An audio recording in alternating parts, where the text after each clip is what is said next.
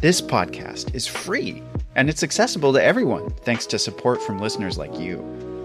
If you value this show, please consider supporting its production by donating to our home, KUOW. It only takes a minute to give, and you'll be helping to support the production of this podcast. Make a donation at kuow.org or follow the link in the show notes. And thanks! Hi, everyone. People often ask how they can support more great stories from The Wild, and we really appreciate you asking. Thank you. Uh, the Wild is a joint production of myself and KUOW Public Radio, and you can support this vital work and become part of the Wild community by checking out our show notes. There you'll find information about supporting my wildlife organisation, Chris Morgan Wildlife, through Patreon. Help fuel the next adventure. Okay, enjoy the episode, guys.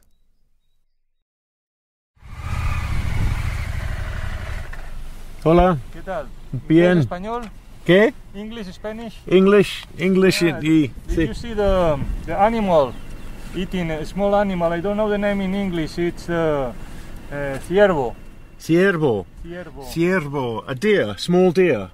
I'm in Spain, and I've just pulled over to the side of the road to get a selfie with a road sign asking people to slow down for a very special carnivore, the Iberian lynx. A guy on a motorcycle pulls up to my car window. He's excited about what he just saw. But the small one, it was beside the road, and I passed with the motorbike, and it was very quiet. Yeah, yeah. And uh, where are you from? ¿De dónde? Uh, Barcelona. Ah, sí, wow. And you? Uh, from uh, los Estados Unidos. Uh, Roadside wildlife viewing isn't out of the ordinary in Spain anymore. These days, people are always trying to get a glimpse of something special. Maybe a fallow deer or an imperial eagle. He, he, uh, I love motorcycles as well. I'm not sure what he saw. There was a lot of movement in the forest that caught my eye too over the last 30 or 40 miles of winding mountain roads. Uh, maybe it was a lynx, huh? he's not very friendly with No. humans, no? Very, very secretive, yeah, yeah. Yeah, yeah, yeah. But a good success story. There used to be 100, and now there's nearly 1,000. That's why I've come to Spain, to figure out what is behind that success story. Because around here, all eyes are on the lookout for the Iberian lynx, Spain's very own big cat. And because of this incredible recovery effort, my new motorcycle buddy really does have a chance to glimpse one at the side of the road. Gracias, you Ted. Hasta luego.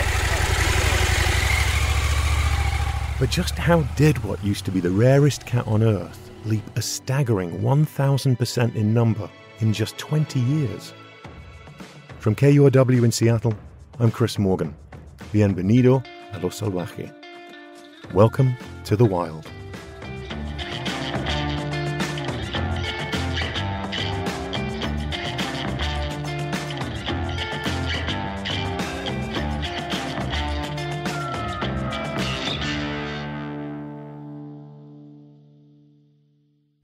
Get my binoculars. And we're heading out right now to see we can see. Hopefully, that is a wild Iberian lynx.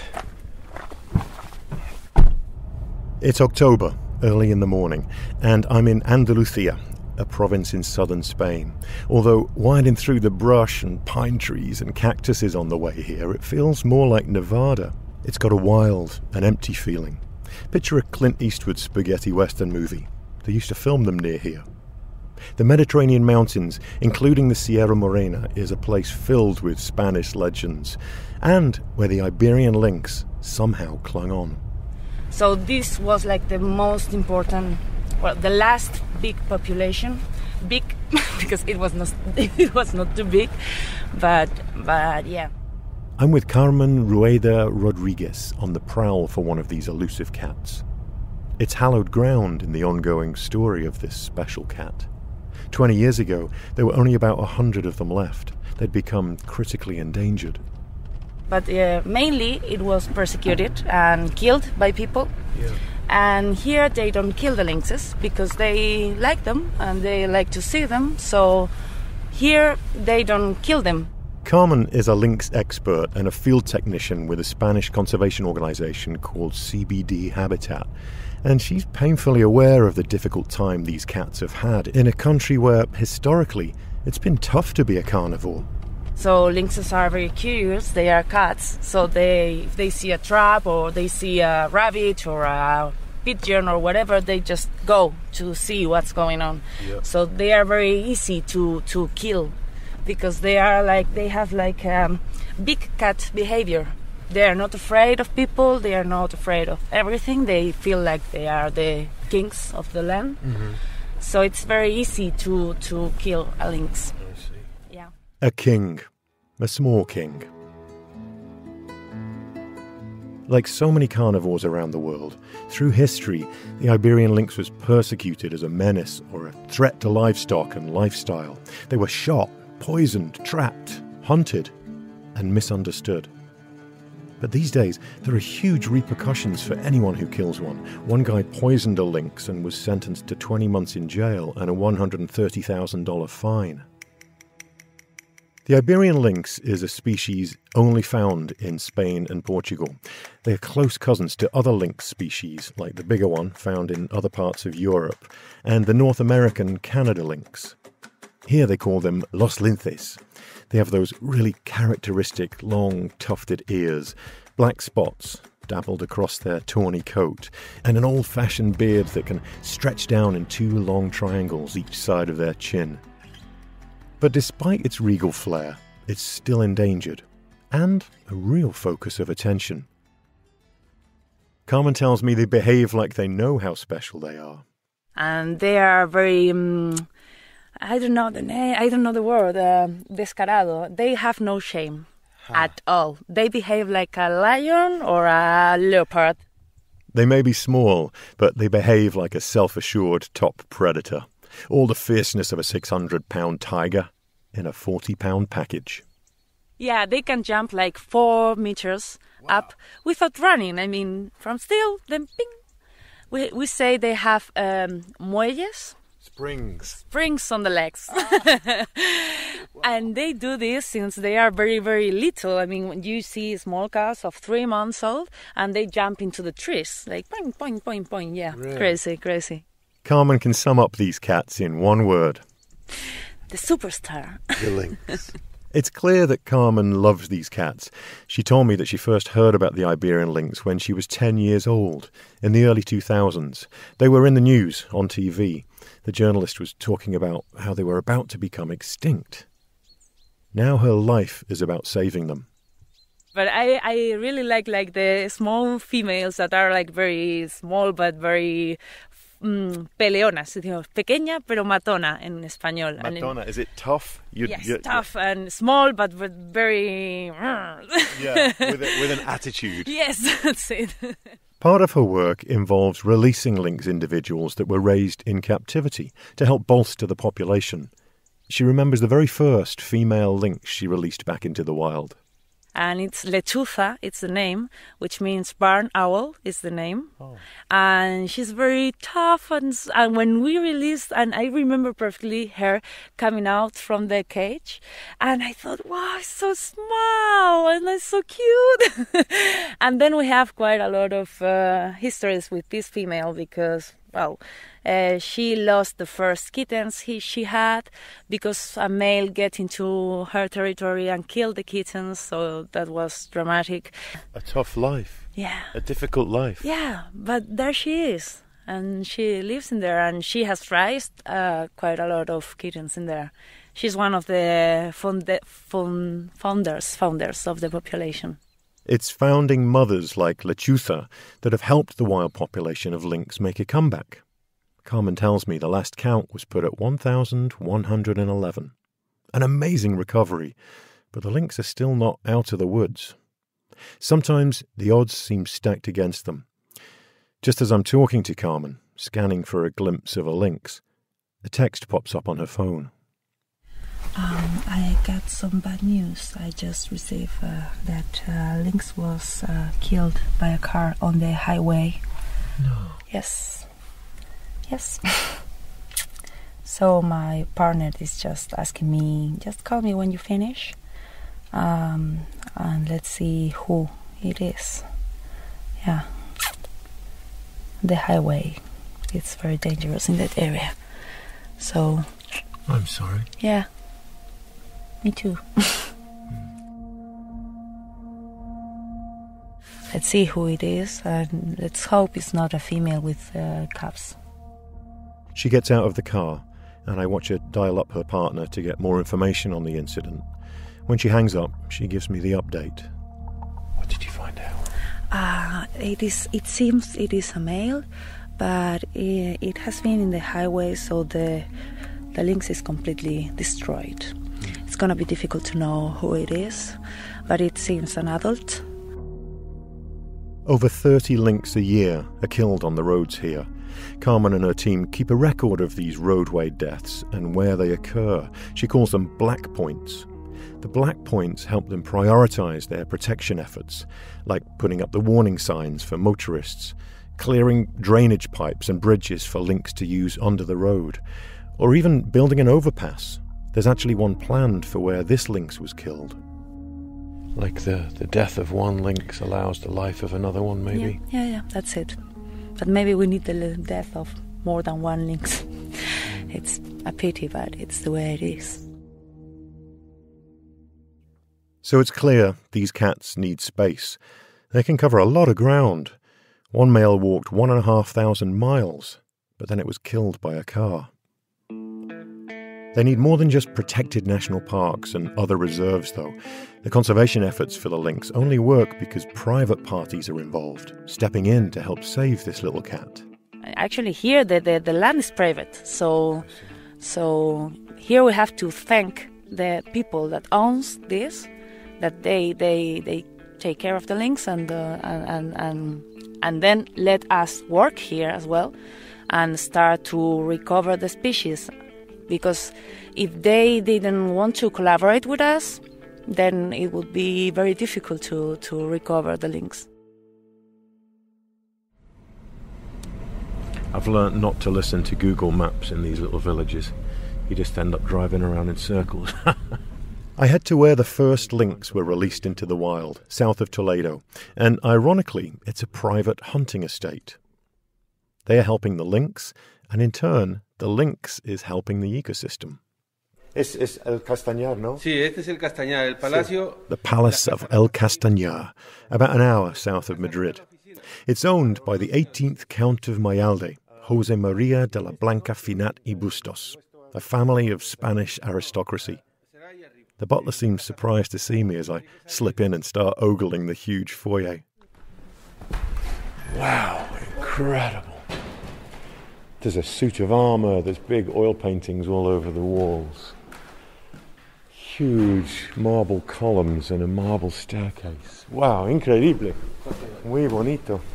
The finca is a large private rural estate with the palace, a church, and this beautiful rambling home at the heart of it. English or Spanish? Um, Spanglish. The Count's son, Rafael Finat, is waiting for me with his enormous Rhodesian ridgeback. This house uh, is very old. It's a house from the uh, is, is from the late 16th century, and my family bought it in in me in 1850. 1850. 1850, 1850.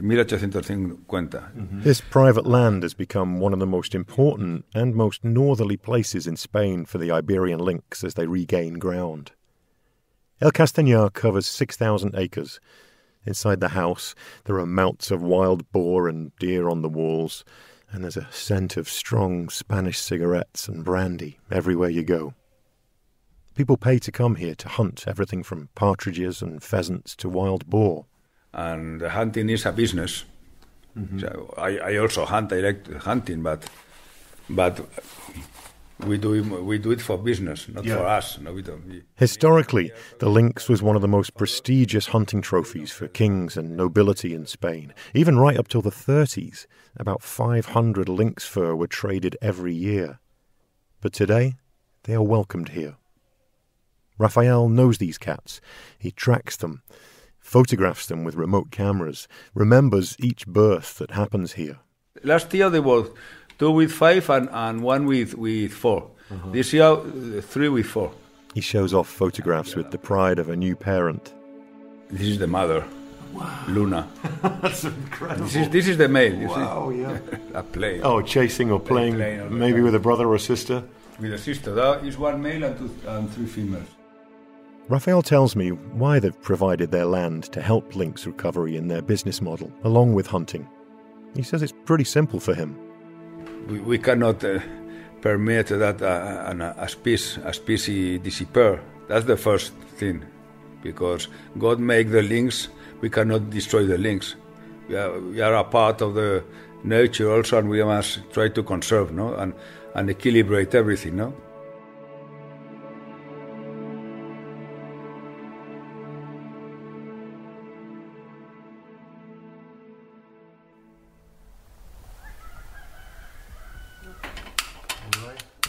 The next morning at breakfast, I overhear two hunters, also staying at El Castañar.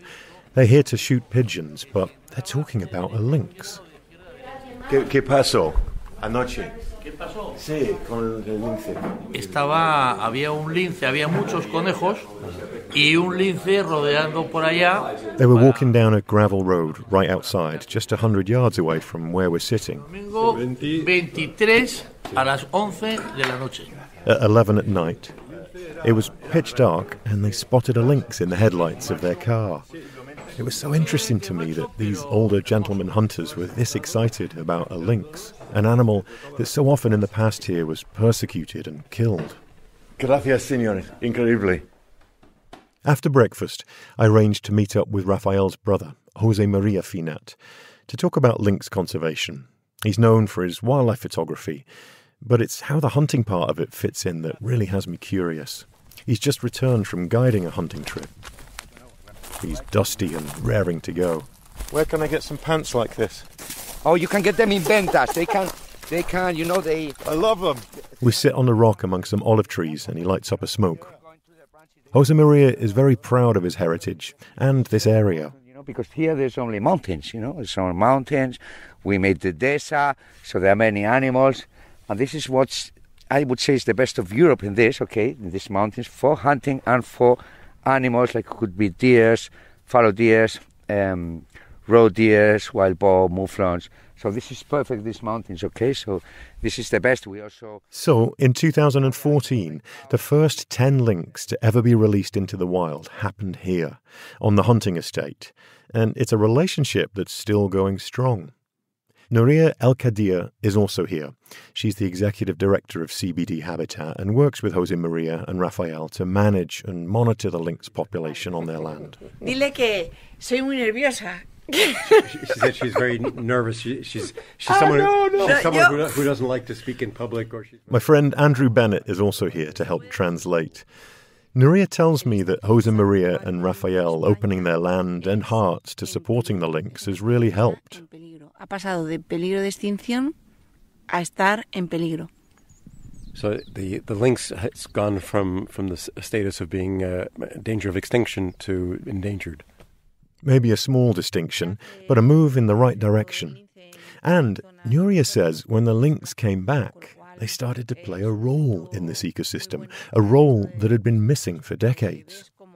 El lince mantiene su territorio alejado a Zorro, que sería su competidor más cercano como alimañero.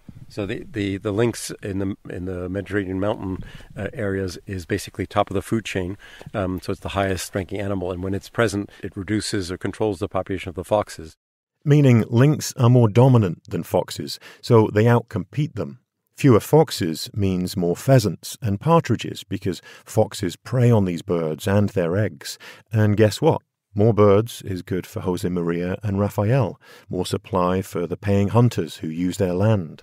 Oh, I love the lynx. I mean, I think there's better balance. So there's more. Before, there were too many foxes and there were no rabbits, no partridges, or nothing. And now, there's many more rabbits, partridges, and many more little uh, hares and everything. I mean, it's, Yeah. It feels very- like you're managing an ecosystem here at El Castañar, yeah?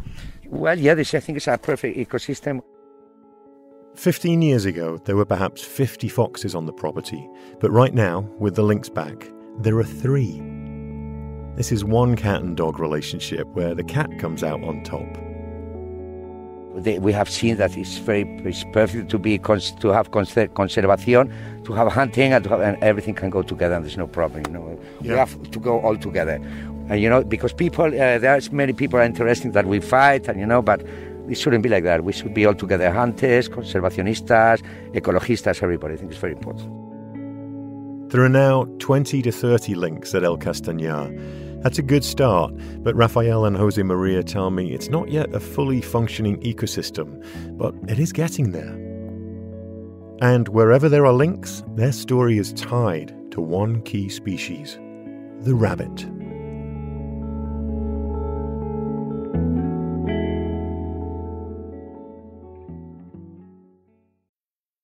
I'm Alex Schwartz. I'm Naomi Fry. I'm Vinson Cunningham, and this is Critics at Large, a New Yorker podcast for the culturally curious.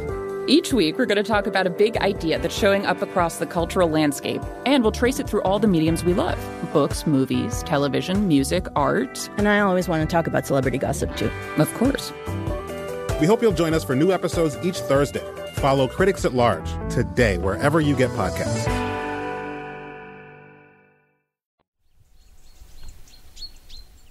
I'm back out on the lookout for a lynx with Carmen at a place called Encinarejo. But here you have uh, uh, rabbits, so they come from there to here to hunt. She wants to share some of the other things being done to help the lynx. What are you What are you looking for when you're searching for the lynx? Then what's the uh, what's your advice? Well, um, there is a trick there are birds, birds that are uh, black and white, and they, when the lynx is moving and they detect it, they do like. So if you hear some birds doing making noises yeah. like probably there will be a lynx in there. She's talking about noisy magpies. When, like, a, like a lynx alarm system. Yes, yes, that's it. yes. We don't make it far from the car before we see our first lynx sign a track. and it's a big one. I mean, I think this is the male's, the male's track. Oh, that's exciting. I love that. When do you think this was? It, this is quite fresh. I would say maybe yesterday, tonight, or something like this. The track is about two and a half inches wide, and every detail shows in the brown, dusty road. Next to them are the tracks of a European rabbit, an animal Carmen is also eager to tell me more about. Yeah, the Iberian lynx actually has co-evolution with a rabbit. I mean, España, Hispania, means land of rabbits. España? Yes. No way. Yes. yes, so in the past there were rabbits everywhere, and many, many, many rabbits, and it's the main prey of all the well, the lynx and the big eagles and imperial eagle. So like all the big predators here, they all eat rabbit, and they are quite specialized on on that prey. The two have co evolved so closely, it's almost all the lynx eat. One study showed that of 360 wild lynx scats, 94% of them contained rabbit.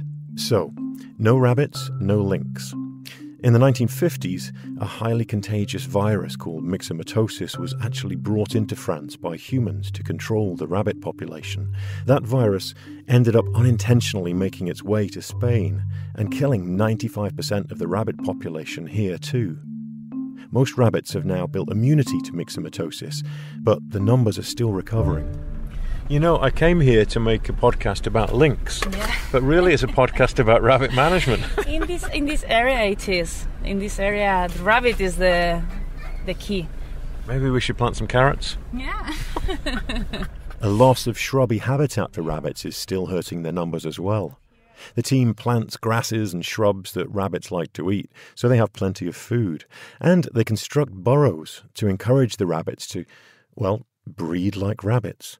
She also tells me that sometimes the lynx need to actually be provided with food, especially important for the mothers with young. Uh, we construct uh, fenced areas and we put uh, rabbits in there Live. live. Really? Yeah, and especially for, for the calves. When So- the when the females start to breed and the calves start to to eat f- uh, meat, then we put these rabbits uh, to help the the female to raise the the calves. So, the government has established a supplementary feeding program strictly for situations where rabbit numbers are low and where reproductive females subsequently need help, like here. Later that evening, I'm able to see exactly what Carmen had been talking about. The dusk light is starting to close in. About 40 yards away in the bushes, I can see a three foot camouflage fence. It's around a small cage too secure for a rabbit to get out, and just loose enough for a lynx to get in. Some have even learned the sound of the cage being opened and closed. It's like a dinner bell. It may sound harsh providing prey in this way, but it's a tool sometimes used in wildlife conservation, in this case as a temporary way to help breeding females of this endangered species. Suddenly, I see something. Okay he went through that arch of the tree right there. He's gone through, the, he's, he's about as far away as the pine tree there. A glimpse of a lynx tail between two bushes. The cat is just moving silently. Oh, listen, listen. Oh, I can hear him into the cage now where the rabbits are. There's a small commotion, the sound of a cage door, and then silence. There he is, there he is, there he is. And I saw him walk right past with a rabbit hanging out of his mouth. I shine my flashlight in the direction the cat walked, and to my amazement, the lynx is right there. He's about 20 feet away right now, eating the rabbit, and suddenly looks like he couldn't care less that I'm here. That is amazing. And there's the confident animal Carmen had been describing. I'm so close I can hear the rumbling of the lynx's stomach. Oh, he's looking straight at me. Beautiful bearded face, and these long tufts of its ears, and gorgeous spotted legs. I later find out that this is in fact a female named Caraca. She's made a lightning quick kill and got what she came for. The team doesn't know if she has kittens right now, but the hope is there, and that this free meal will make a difference. The government's supplementary feeding program is slowly helping the lynx make a comeback, and as it does, something else has followed tourists. And they are coming in droves, not for the beaches and sangria this time, but to see this Spanish superstar cat. People come from all over Spain and abroad for the chance to get a glimpse. And more importantly for Carmen, it's that direct link to conservation. Wildlife tourism should contribute to the conservation of the species you are looking at. So the idea is that part of these uh, resources are reverted to conservation so that we can somehow maintain the species and if the species is in the territory then the tourism will come if the species is not here anymore, uh, the tourists are, are not coming. But they are coming. Okay. Oh, I love this place. Come on, legs hanging from the ceiling. Just a few miles from where I saw the lynx, there's a local business that's buzzing with regulars and visitors, and the sights and smells are thick and delicious. Hola, señor. Encantado, yo soy Ramón Barrios. Encantado, señor. The man I'm here to meet is the owner of this restaurant, and after a quick bite, we sit down to have a chat along with my translator, Andrew. It seems like a, a very uh, uh, hospitable and uh, welcoming place. Parece un sitio súper hospitable. Por supuesto, nosotros vivimos de eso. Ramon Barrios tells me that this family business was started by his father as a small shop in 1966, selling olive oil and other local goods. The area has always been popular with hunters, so the shop became a restaurant and then a small hotel too.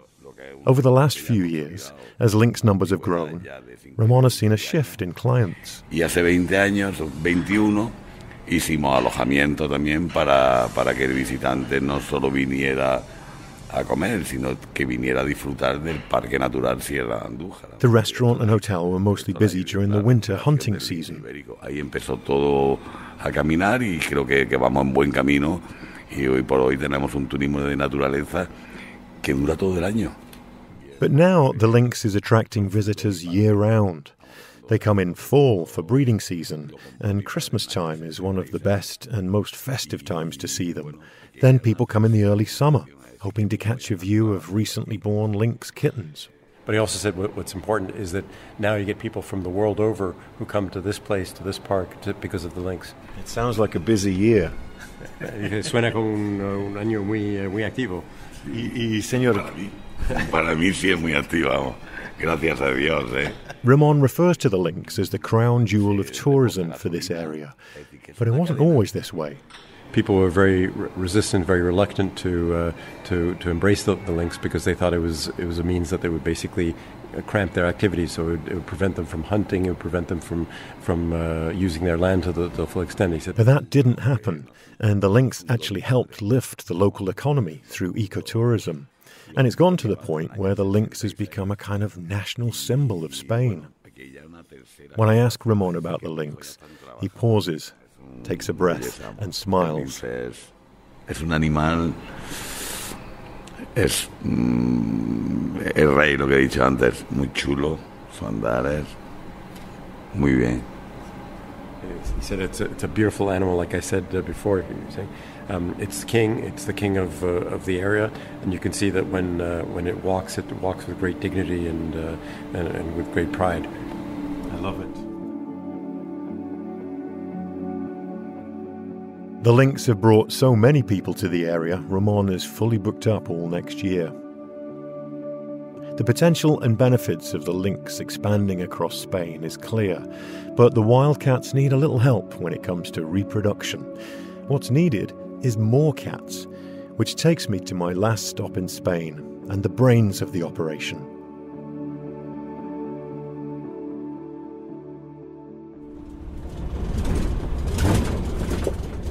I head 45 minutes north into the hills by highway, then gravel road, to a lynx breeding centre. It's on a hilltop surrounded by pine trees. Security is high around these precious cats.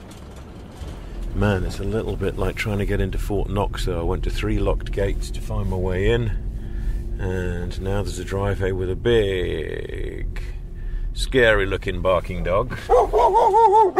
Yeah, that's okay. I won't be getting out of the car. I don't know if this is the place or not. This is where the government of Andalusia breeds Iberian lynx for release into the wild. And they're also a kind of a genetic backup population in case of a dramatic die off of the lynx population. I can call you. As I approach the doorway of the office, one of the staff stops me and points to a tray of blue liquid on the doormat. Oh, we're dipping our feet into some disinfectant here. Every precaution is taken to keep germs and disease out. In the main room upstairs, there's a man sitting at a desk, and he's staring at a row of monitors, each with cameras focused on the cats in their little cubicles. It's all very high tech. Wow. Wow, lynx. Uno, dos. Oh, they're right here on the screen. This is like the Starship Enterprise with screens all around and uh, views of the lynx. Oh, wow, he's scrolling around with the mouse and uh, following this one particular link. That's amazing to see. ¿Cuántos, cuántos linces en, en total aquí? Total, Sí. eh, 41. 41. Wow, 41. 41. 41 lynxes. Wow. Each of them is monitored very carefully. The cats are actually about a quarter of a mile away inside a giant fenced off area where they don't even see or hear humans. They'll only survive in the wild if they stay fearful of people. In charge is veterinarian Maria Jose Perez Aspa. She works for the government of Andalusia and knows each cat well. She points to a female on one of the screens. Recently, a mother lynx had died, leaving behind three orphaned kittens that were just two months old. And this female adopted them as her own. So they need to be with an adult, uh, if possible, with a with an adult female, and and this female had had an abortion this year, and and she doesn't feel very happy. Oh. So we thought that it, it, it would be a good thing for all of them, for the cubs, but also for the for the female. Oh, that lost that the lost uh, mis- miscarried, Yes. and and um, because it's good socially, they they can have some social time and feel more happy. Yes, yes, yes, yes. Wow. Uh, uh, it has been a very positive um, solution for all of them. There are three lynx breeding centres like this one in Spain, and they have a very clear target in sight 750 breeding females in the wild, a number that will help ensure enough genetic variability to keep the Iberian lynx population healthy into the future. This facility releases about 10 cats per year.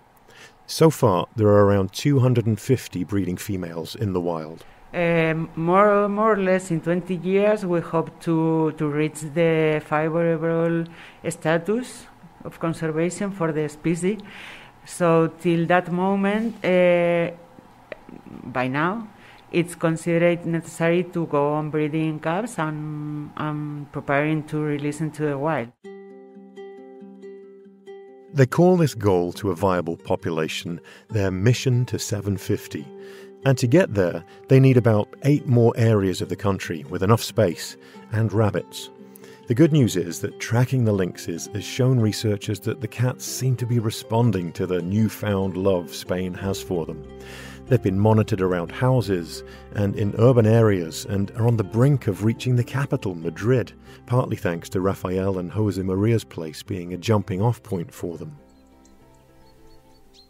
It's a really good sign that these cats can adapt and make a living now they are protected and cherished.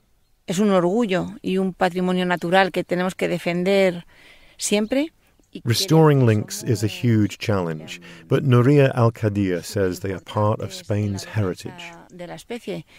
Si no actuamos todos en conjunto, la especie desaparecería, con lo cual seríamos un poco culpables si no lo hacemos.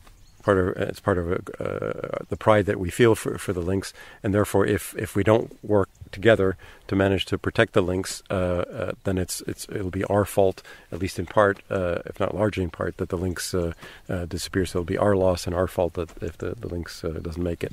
But why does that matter? ¿Y por qué importa eso? Porque desaparecen especies que hay que conservar, hay que conservar el monte Mediterráneo, hay que conservar la biodiversidad. Hay que conservar la naturaleza. Because we have to protect the habitat of uh, the Mediterranean mountains. We have to protect the animals that live there. We have to protect the biodiversity uh, of the area. And if we don't have that, then we lose everything. The mission to 750, the researchers, ecotourism folks, businesses, hunters, conservationists, and the rabbits, all of them play a role in this complex conservation web for the lynx. O sea, todo tiene que estar al mismo tiempo. If any one of those uh, pieces is missing, then the, the then it doesn't work. You have to have everything working together in the same direction. Everything working together in the same direction. Sounds pretty simple when you put it like that. And it feels like the way it ought to be as the King of Cats struts into a bright Iberian future.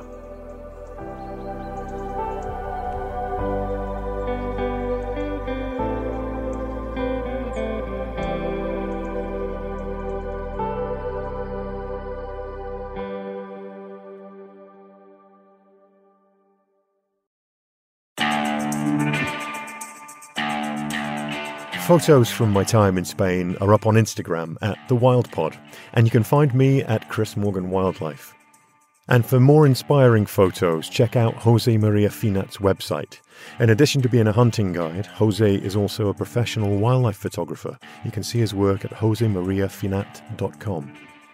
The wild is inspired not just by nature, but by people who work in it, love it, protect it, Special thanks to my translator and facilitator in Spain, Andrew Bennett, and Javier Salcedo of the Government of Andalusia. Thanks also to Manuel Martin Lopez, aka Lolo, for teaching me to track Iberian lynx, and to Alex and Jess Hone. The Wild is a production of KUOW in Seattle and me, Chris Morgan, with support from Wildlife Media. One way to support this vital work is through my wildlife organisation, Chris Morgan Wildlife, on Patreon. There's a link in the show notes. Our producer is Matt Martin. Jim Gates is our editor. A very special thank you for their kind financial support to Jill and Scott Walker, Rose Letwin, Ellen Ferguson, Anna Kimball, John Taylor, Mark Wilkins and Rebecca Badger, Bob Yellerlees, Annie Mize, Paul Lister and his organisation, the European Nature Trust, for making this trip to Spain possible. Our production team includes Juan Pablo Chiquiza, April Craig, Michaela Giannotti, Cara McDermott, Brenda Phillips, Tio Popescu, Darcy Riggin Schmidt, and Brendan Sweeney. Our theme music is by Michael Parker. I'm Chris Morgan. Thanks so much for listening. If you enjoy The Wild, please do ask your friends to follow our podcast and maybe even give us a review. Thank you, and take good care.